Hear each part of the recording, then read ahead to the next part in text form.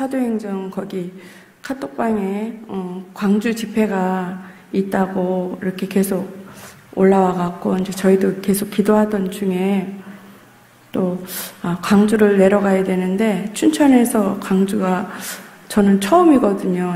이 땅에는. 근데 아, 운전하고 오기도 힘들고 또 버스 타자니 그렇고 그런데 그냥 무조건 성령님이 인도해 주시겠지 하고 이제 춘천 팀들이 같이 어, 차를 가지고 오게 되었습니다.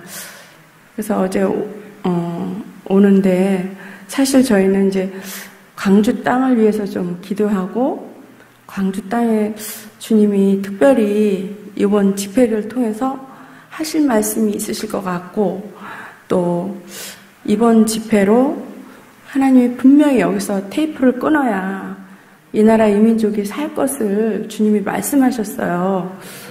그래서 먼저는 5월 어, 달에는 제주도였어요. 그래서 제주도, 그 다음에 하나님이 이제 어, 여기 전라도 광주라는 거예요. 그래서 제가 사실은 여기 올 수 없는 형편이거든요. 근데 하나님이 강권적으로 또 이렇게 환경을 열어주셔갖고 왔는데 딱 광주 시내를 들어섰는데 아, 사실 주님이 이 땅을 향해서 말씀하실 줄 알았어요. 그랬는데 주님이 안디옥 교회를 말씀하시면서 교회를 위해서 기도하라. 그러면서 제 마음에 막 기쁨이 오는 거예요. 기쁨이 오면서 막 이 땅을 축복하는 거예요. 교회를 축복하고 예수 이름으로 묶였던 것들이 풀어지는 그 기도를 계속 선포하게 하시면서 예수 보혈로 이것을 덮습니다. 예수 보혈로 이 땅을 덮고 교회를 덮습니다.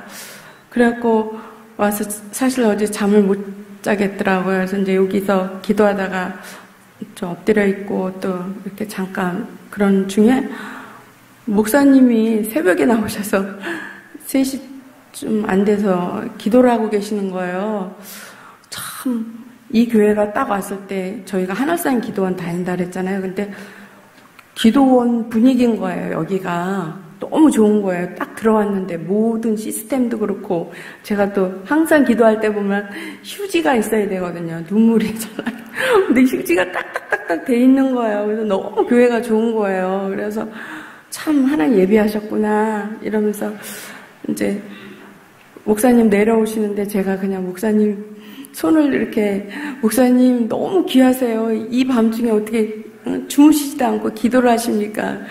그런데 이제 제가 어제 잠깐 이렇게 또 누워 있는데 주님이 그러시는 거예요. 힘이 들어서 잠깐 이렇게 십자가를 바라보고 있는데 아, 내가 이 교회 때문에 광주를 살려준다. 그리고 광주가 살면 한국이 살아난다.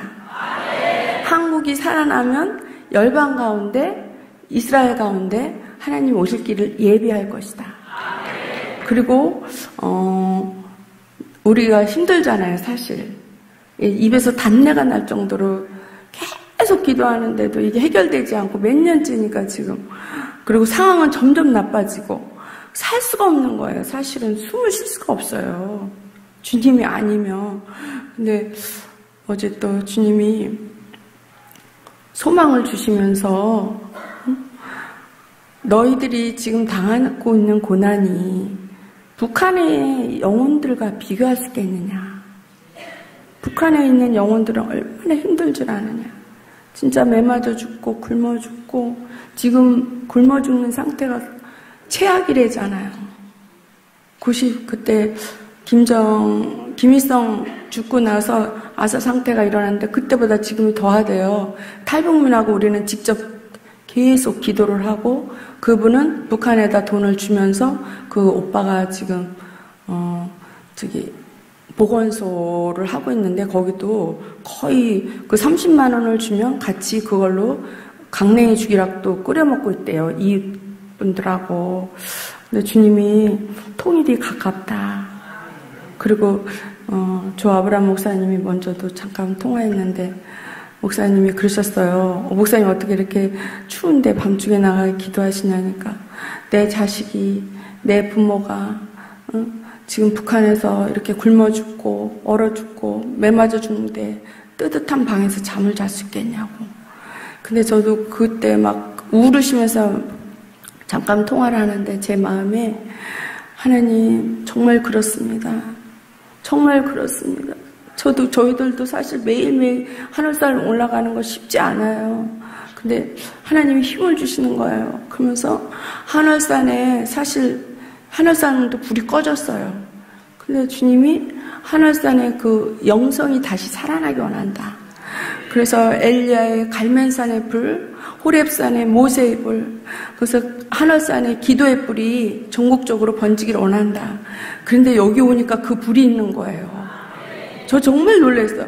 그래서 하나님 정말 소망이 있습니다. 사실은 여기 절망 가운데 왔거든요.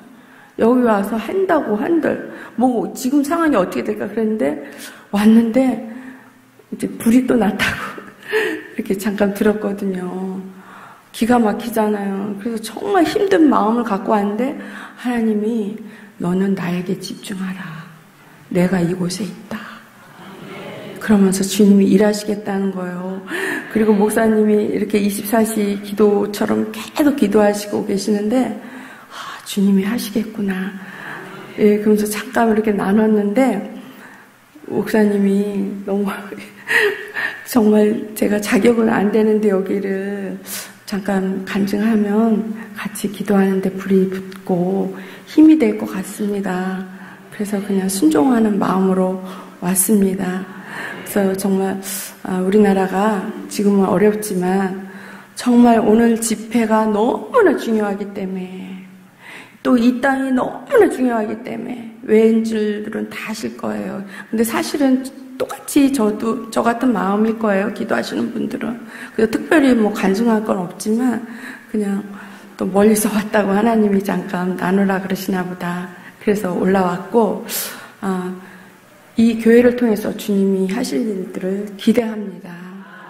그래서 또 정말 조 아브라함 목사님 말씀, 말씀하셨듯이 저희도 기도 중에 계속 탈북민하고 같이 기도를 하는데 막손 붙잡고 우리 정말 소나무 밑에서 막 춤추고 맨날 기도하고 부르시고 하거든요. 근데 아, 능라도에서 주님이 예배를 드리기를 원하시는구나. 그 때가 얼마 남지 않았구나.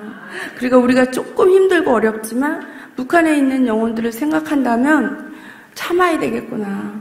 그래서 정말 주님이 기뻐하시는 우리 한국교회와 또 목사님 또 오늘 생각지도 않게 조 아브람 목사님 회개로 나오셔갖고요. 정말 아 주님이 일하셨구나. 이 회개를 받으시고 정말 새로운 기운으로 주님이 진짜 일하시겠구나. 그런 소망이 생겼습니다. 그리고 하나님이 이 가운데 계신다고 하셨고, 정말 우리, 정말 저는 부끄러운, 이렇게 잠깐 몇 말씀 드렸지만, 여러분들은 며칠째 금식하면서 기도하시면서 얼마나 많은 것들을 기도하시고 또 주님께 받으셨겠습니까만은 나누지 못하고 계시잖아요. 근데 저는 이제 조금 이렇게 겉, 수박 겉핥기로 조금 나눴는데 이것이 다른 건 모르고 합심해서 기도하는데 도움이 됐으면 좋겠고요. 어, 이것이 정말 이번에 광주 집회를 통해서 저희도 이제 올라가면 이 교회를 놓고 다시 기도하면서 하나님이 또그 어, 다음 단계를 또 어떻게 여실지 그러면서 다음번에는 조 아브라함 목사님이 서울이라 그랬거든요. 서울로 해서 강원도 또 춘천으로 해서 능라도까지 올라갈 것을 기대합니다. 모든 영광 하나님께